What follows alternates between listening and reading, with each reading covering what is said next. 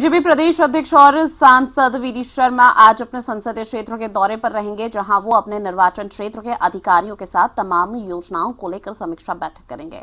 इसके साथ ही वीडी शर्मा अपने क्षेत्र में विकास कार्यों का भूमि पूजन और शिलान्यास करेंगे। शर्मा का क्षेत्र के कार्यकर्ताओं और आम लोगों से मिलने का कार्यक्रम है।